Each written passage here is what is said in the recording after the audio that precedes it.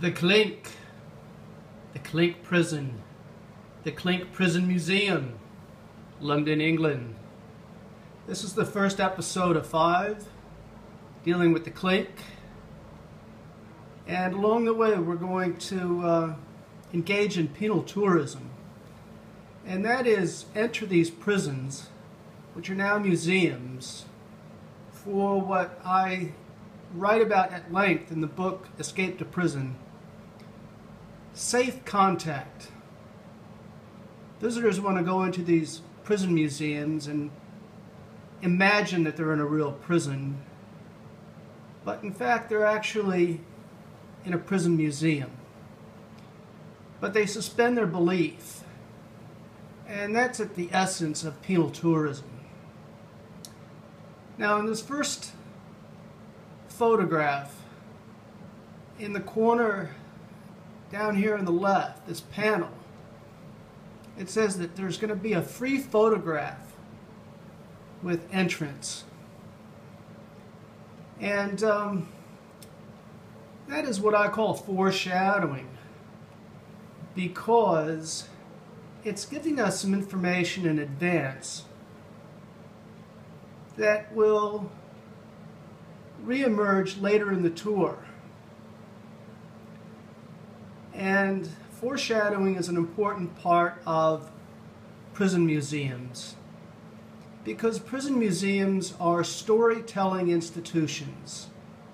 They tell us about itself as an institution, but also the people that are incarcerated.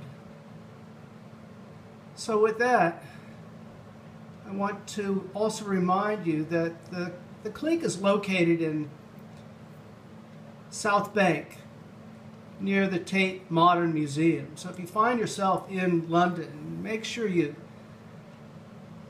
make a point to put this this prison museum on your itinerary because um, as you can see over on the right hand side it's open until 9 o'clock at night so you'll have plenty of time to get in do your thing take your own photographs engage in a little bit of nervous laughter with some of the items on display. And then by 9 o'clock, you'll be able to get out, go across the street, find a nice pub, and have a pint.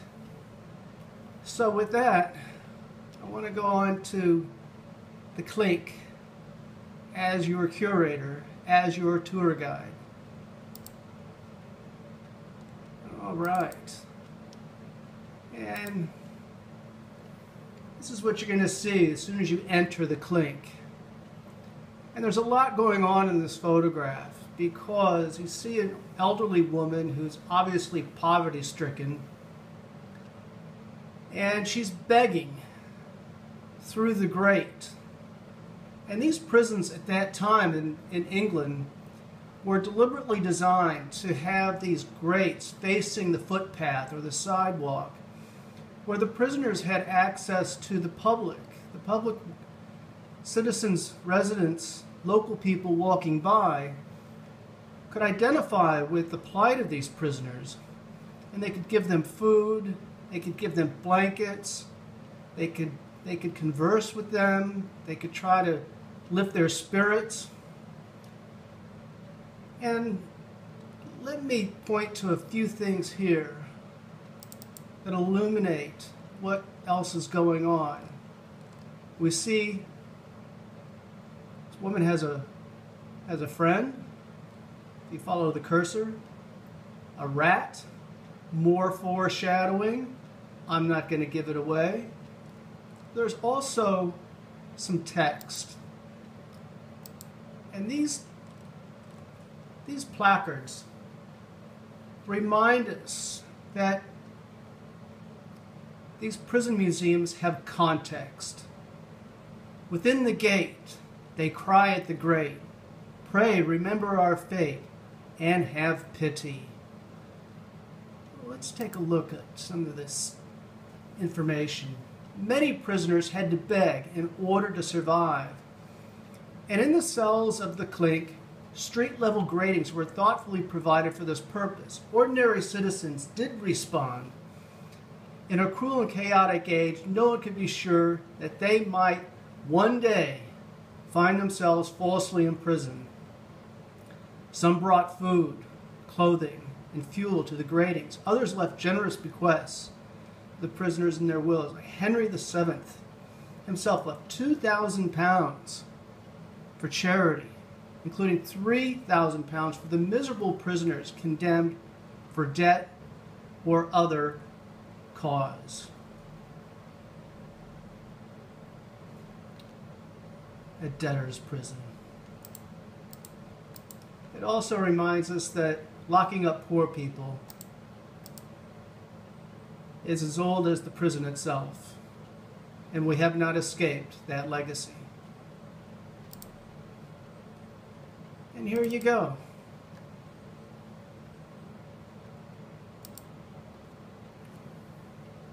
If you watch old gangster movies, and I do, you um, you might hear some of the jargon, some of the slang, and they oftentimes refer to the jail as the clink.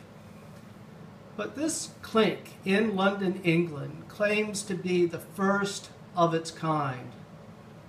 This is the institution that gave the jail the name of the clink. Because as you can see, there's a prisoner off to your left, standing next to a blacksmith, and the blacksmith has his hammer, and he's attaching shackles, an iron shackle, on the anvil. And the sound is, of course, the clink. Now, more information We've got some text here. Over here. Both the jailer and the inmates stripped him of his clothes, his money, and his valuables. Note the clinching iron. And there you go. The clink. Now they had to pay the, the, the blacksmith to attach the shackles upon arrival. And upon departure, they had to pay him again to remove the shackles because they, they belonged to him. It was his own little shop, making money off of prisoners. We still have not escaped that legacy.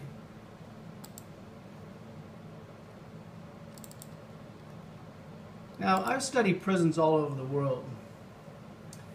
Some of them are, are worthwhile to spend lengthy periods of time doing field work, but I have to say the Clink is a dirty environment. It's a dungeon, it's subterranean, it's disgusting. I can say that after a day of two or three hours of field work here in the Clink, I definitely needed a pint when I crossed the street. But let's go further in.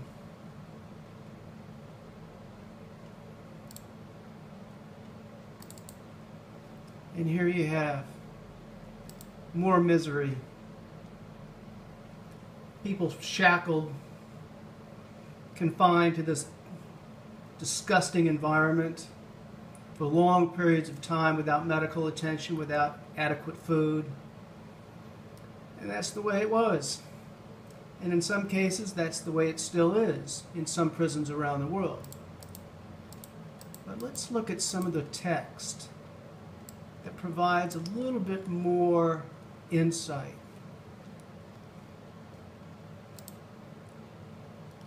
Children were regarded as miniature adults and hence often sentenced to prison. There are innumerable cases of women with children at breast being sentenced to prison and terrible tales of the sufferings of the mother and the children under the cruel keepers. Their case was hopeless from the start. Kids in cages, still with us. Kids in cages.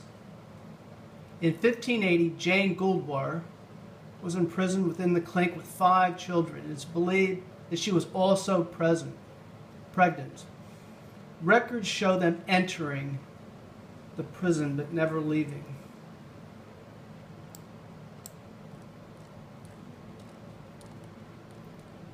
The statute of Acton Burnell, 1283, allowed creditors to imprison their debtors until they paid the bills. The clink was founded for this source of misery to exploit poor people. It was known as a debtor's prison until the end of the century, witnessing the humiliation of countless men and women at the hands of sadistic creditors and jailers. The clink.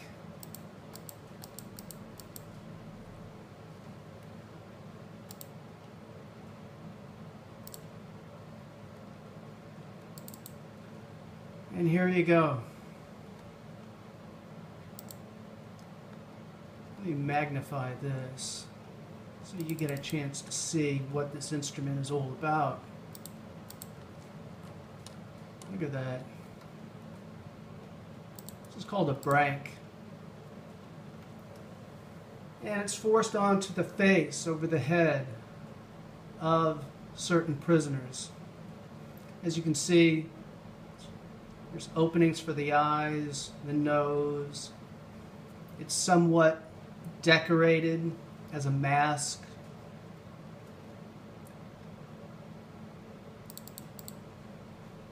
But let's take a look at the text that explains this contraption. Look at that. My God. One of the things that I'm going to repeat throughout much of this course is that when it comes to thinking up new ideas to inflict pain and punishment and humili humiliation on another human being, there is no shortage of ideas. Scold's Bridle, also known as the Brank. One event that was always certain to attract attention was the punishment of the gossip or the scold, women using abusive language were not holding their tongues or just complaining of injustices, had their mouths stilled by this means. It consisted of a small iron framework in the form of a cage which fitted tightly over the head and the eye holes and the openings for the nose. At the front, protruding inwards, was a small flat plate which was inserted into the offender's mouth, and the bridle was then locked into position around the neck. Some models were quite painless to wear. That's easy for you to say. Some had large tongue plates studded with a sharp pin that could cause appalling injury. Things to do. Let me repeat. Things to do. These are storytelling institutions. And they are performing institutions and their performance allows the audience, namely the visitors, the penal tourists, to engage in the performance. Things to do. Do you think this item might be used in your home if used today? So if your sister, your little sister's complaining about having too much homework, well, you could ask your dad, ask the old man if he wants to reach for the the brank and attach it to your little sister. Is that the kind of house you live in? Well, maybe, maybe not. Think how the person would be able to eat or drink with this brank. Look at that. Uh,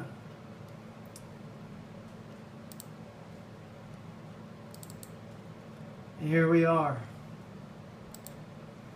The reason why these poles with blades are so long is to create distance between the sheriff, the police, members of the law enforcement establishment, to create distance from them and their targets, those they are arresting. Because at the time, these perpetrators, even if they were seemingly harmless pickpocket. They oftentimes were armed with knives and daggers. And members of the police establishment had to be very vigilant. And so oftentimes they used these poles with blades to create distance between the perpetrator and the police. I guess today we would call that social distancing. This concludes episode one. You can take a break, get a cup of coffee, come back for episode two. Cheers.